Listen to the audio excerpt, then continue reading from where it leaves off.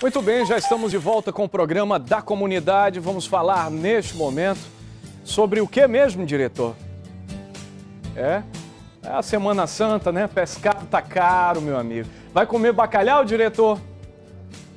Não, ainda bem que o diretor não gosta de bacalhau, Márcia Lasmar. Eu gosto, Amaral. Eu gosto do bacalhau. E aí, você que está aí do outro lado, são 12 horas e 13 minutos vai comer bacalhau também na sexta-feira. Daqui a pouco a gente vai trazer informações para você sobre quanto é que está o pescado. Mas agora nós vamos trazer para você informações sobre a programação da Semana Santa. Você vai saber aí como é que está essa programação da Igreja Católica, se vai trazer aí é, as missas, os horários das missas, né, das confissões. E quem vai trazer essas informações para a gente aqui na tela é o repórter Fred Rocha.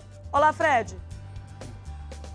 Olá, Márcia. A Catedral Metropolitana de Manaus preparou uma programação especial para essa Semana Santa. A programação começou ontem e vai até o próximo domingo. Hoje, aqui na Matriz, tem confissões individuais em dois horários, de 9 horas da manhã ao meio-dia e também de 3 às 6 horas da tarde. Amanhã, na quinta-feira, será celebrada a Missa dos Santos Olhos às 9 e meia da manhã. Ainda amanhã, às 6 horas da tarde, será celebrada também a Missa do Lava Pés em que Jesus lavou os pés dos doze discípulos. Já na sexta-feira, será a Via Sacra, às 9 horas da manhã, com saída aqui da Matriz até o Santuário de Nossa Senhora de Fátima, na Praça 14. A programação se encerra no domingo, com a missa da ressurreição do Senhor às sete e meia da manhã e será presidida pelo arcebispo de Manaus, Dom Sérgio Castriani eu volto com você ao estúdio. Obrigada, Fred. E você que está pensando aí, fazendo sua programação da ceia, da sexta-feira,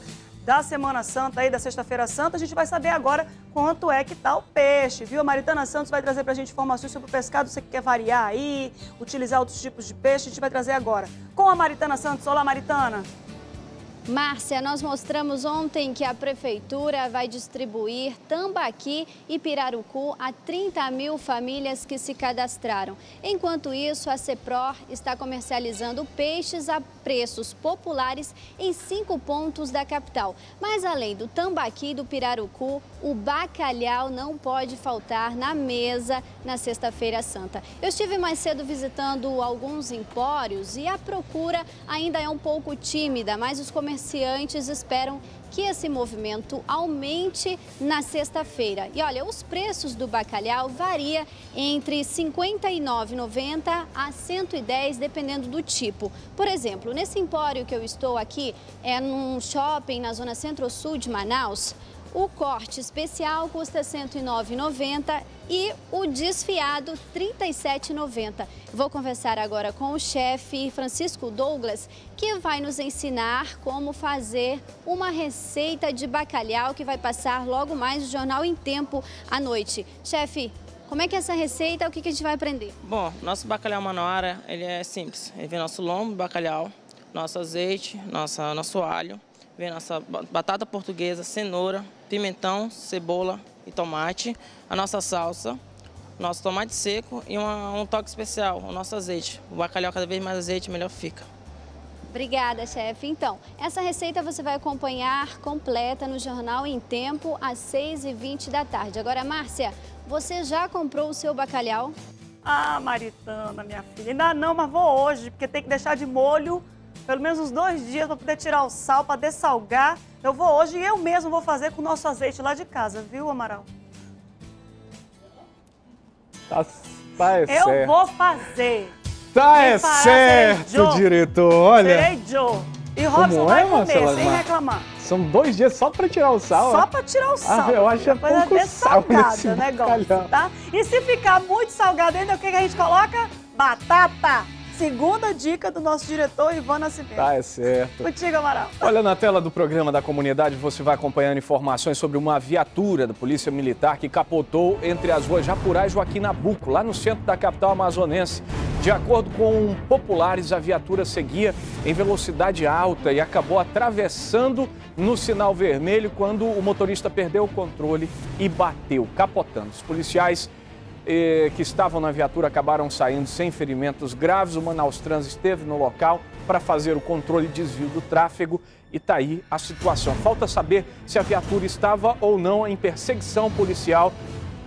Pois não.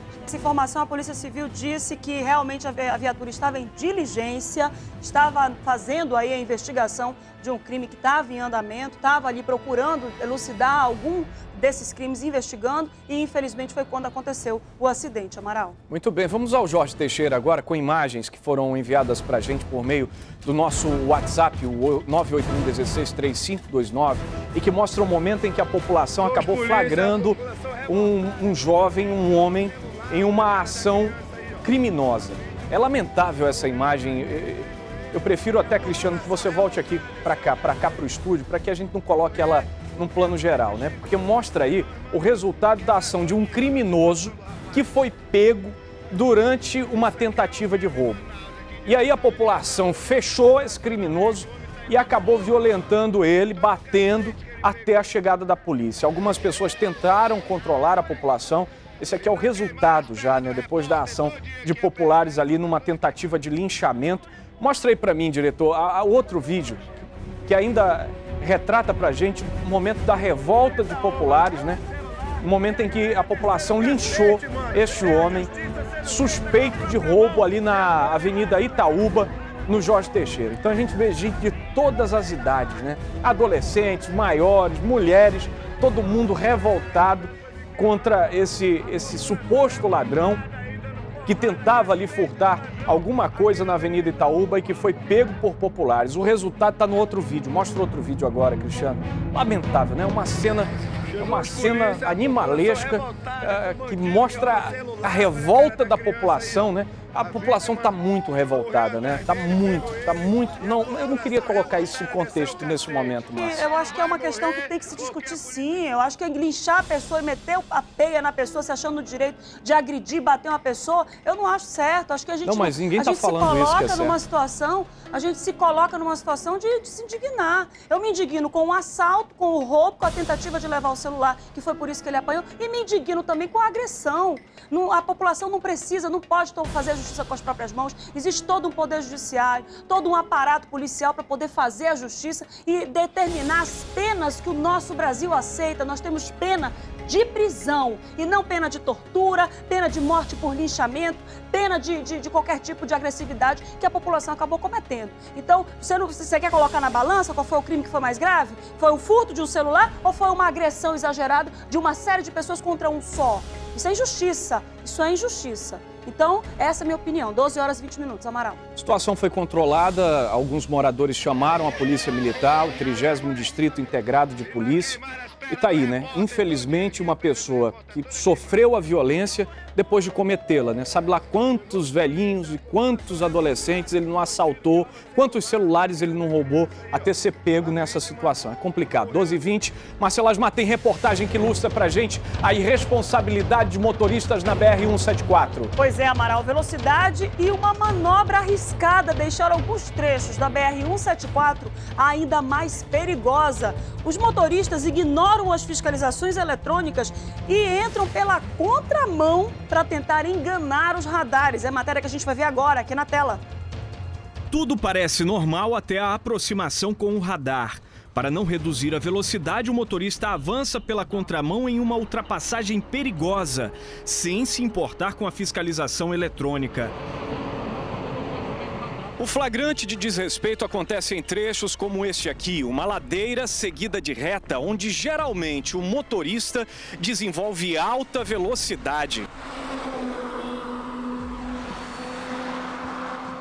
Nelson trabalha na margem direita da rodovia. O comerciante explica que a prática usada pelos motoristas para enganar o Corujinha já se tornou rotina. O perigo é esse, que pega muito, passa muita criança aqui domingo também, né?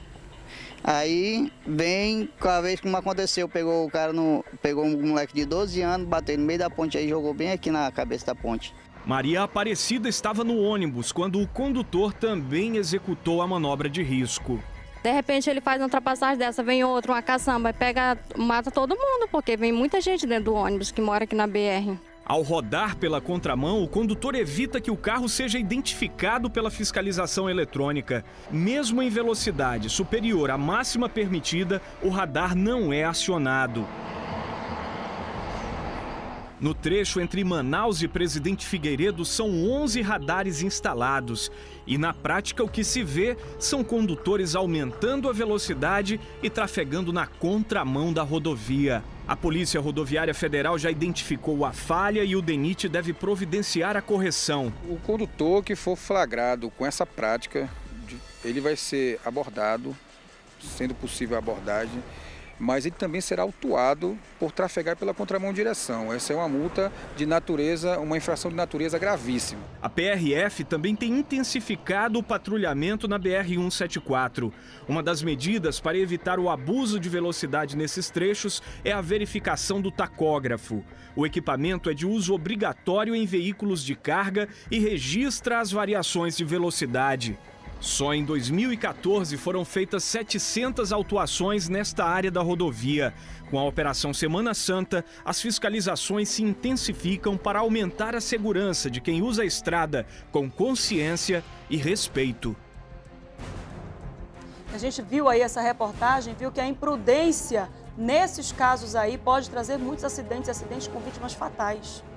Isso precisa ser combatido. A gente tem a Operação Semana Santa que já começa a a, a, ser realizada pela Polícia Rodoviária Federal, nas rodovias federais que nós temos aqui, a rodovia BR-174, que liga Manaus a Boa Vista, em Roraima, e também a 319 até o Careiro Castanho. É fundamental que a fiscalização exista, mas principalmente que o motorista tenha consciência na hora de pegar a estrada. Pois é, Amaral, são profissionais. É preciso que eles tenham essa segurança, que além de dirigir com o profissionalismo que eles aprenderam, que escolheram para poder ganhar aí o sustento da sua, da sua família, o sustento da sua vida, que eles tenham segurança para poder voltar para casa sãos e salvos e fazer com que as pessoas que transitam no mesmo, na mesma rua, naquela mesma via, também voltem para casas, para casa sãos e salvos. São 12 e 24 obrigado pela sua audiência. Dessa maneira que a gente encerra mais uma edição do programa Agora. Amanhã tem mais, Marcela Asmar. Amanhã tem mais, Amaral Augusto. Uma ótima tarde para você. Até amanhã.